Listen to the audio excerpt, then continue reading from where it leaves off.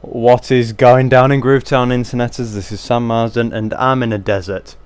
Why am I in a desert? Well, look at the title and you'll get some sort of idea. I'm showcasing a massive build I've done. Massive desert themed build. You could call this Egyptian or Arabian, whatever you want to call it. It's uh, it's pretty big. So uh, I think I'll probably start off down this area and just work my way over that way gradually. Yeah, over over there where everything else is. So you got some little roads with the walls and a little cannon along it. It's a really simple design that I, qu I quite like. I actually get to see all of it later when I start showing off one of the ships I've built in here. So yeah, it's simple design. You got the walls. A little thing I've liked to do with this, or I like to do with this, I should say, get proper grammar is to just to break up the um, sort of one block look. Is to just to put these in, and it looks it looks nice. Coming through, we've got a couple of farms, some basic crops, a couple of pigs, some little kind of communal houses. Like this is really lower class kind of stuff. Like maybe these guys work on the farms.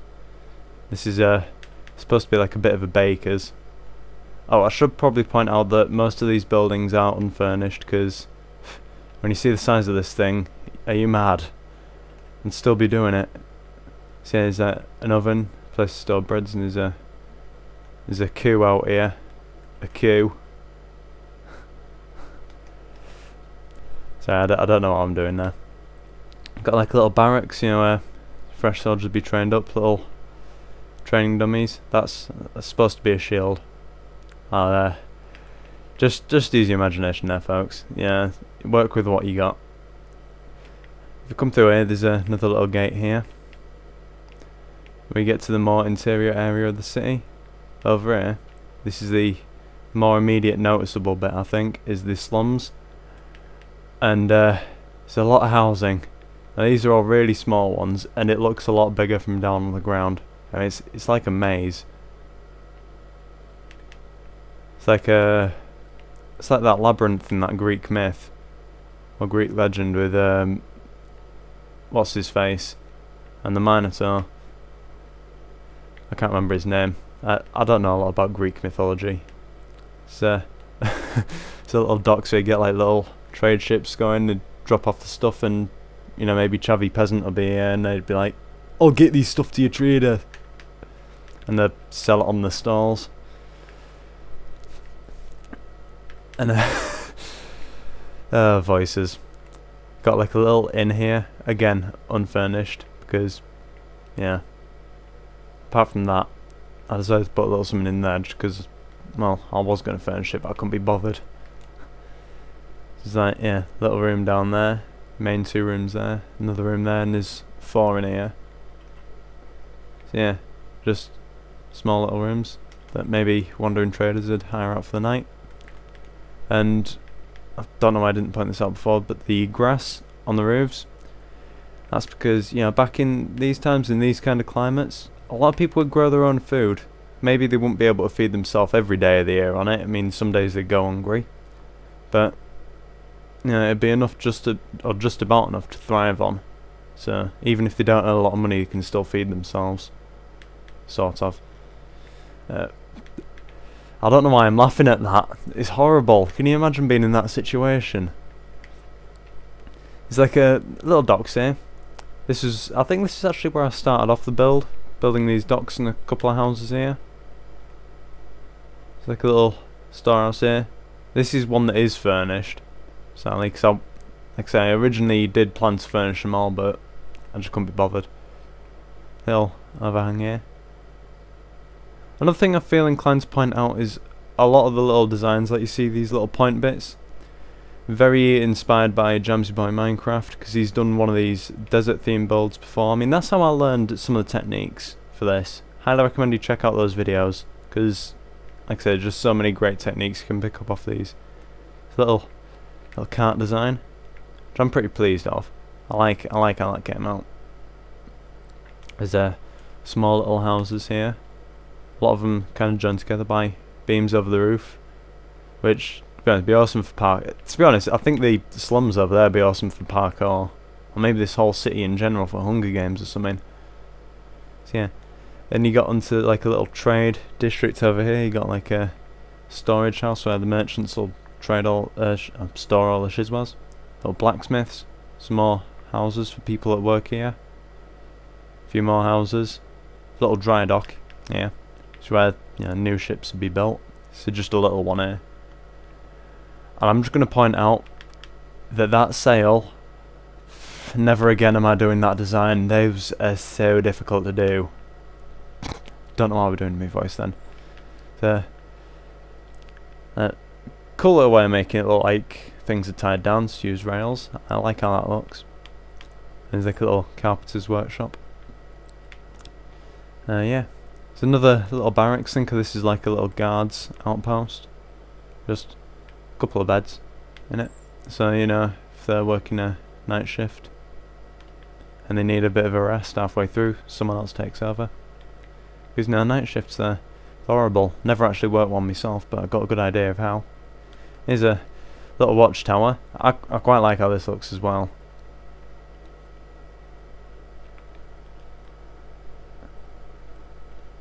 I just like the um, like little arrow slits and I mean just things like that using the stairs just to give it a bit more depth. Yeah. Obviously board has this river. Little sewer grate there. Obviously these stairs lead up to the walls with more cannons. It's a bit of a crossfire zone down there if anyone's going to attack. So, little blacksmiths here. So, uh, yeah, just a little outdoorsy one. The little anvil design. Another one in Jamsy Boys Minecraft. Like I think I pointed out in my latest Let's Build. Go check it out.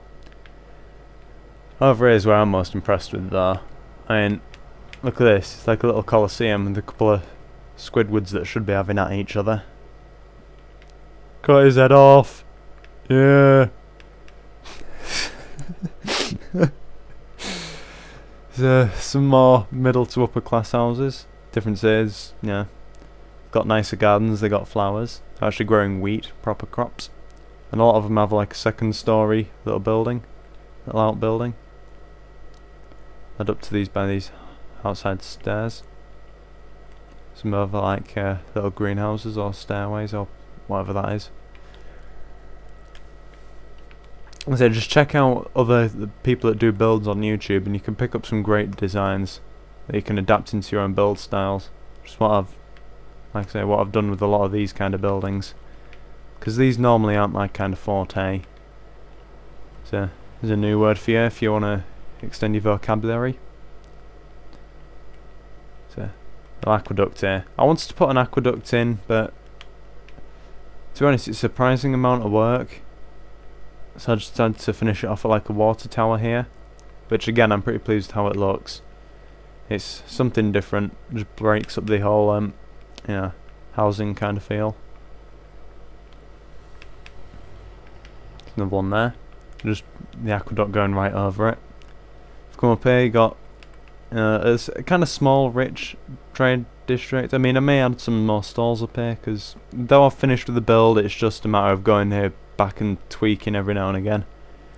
This is a kind of a, a general store, you know, the guy who sell upper class kind of goods, like fancy jars and spices.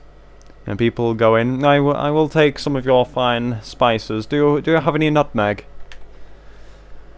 And the trader go, what, what, what's nutmeg? What's nutmeg, governor? It's a bit, a bit cockney. It's got a fishmonger's here. Now, this is something I did toy putting over there, but I thought, you know, there needs to be something kind of fishing related up here near the upper class kind of pier. You know, so maybe you get some rich people fishing off of it. I mean, maybe this is a good fishing spot. You know, they've got slaves and, yeah, or whoever it is. Maybe it's just really poor people living there and they cut the fish and then it's sold. Just another generic trading stall there. This video could take a while to upload actually, because it's it's going to be a fairly long one. Over is uh, well, it's more of a grand kind of designs, kind of st style area, hysteria, hysteria. Haha. Um, this is if you can think of this is like a king's or lord's house, so you can't see it, but there's a, kitchen over. I'll tell you what, should I just should I just go inside? Oh, up here is like a little garden up here. The king's room in here. He's got a little desk there, the map. Which, oh, I'm getting stuck. He's got a got a triple bed. Some chests down here, kind of like a big dining table in here, or maybe he'll invite a couple of diplomats around. And they'll have maybe some venison. There's a little kitchen. So maybe he's got a little servant that comes in does food prep. I can't get out the doors. They've got like a really big kind of barracks. I'm going to give you guys a little contest. Who can count all the beds? I'm going to point out these are symmetrical. Just quickly go around the bottom level.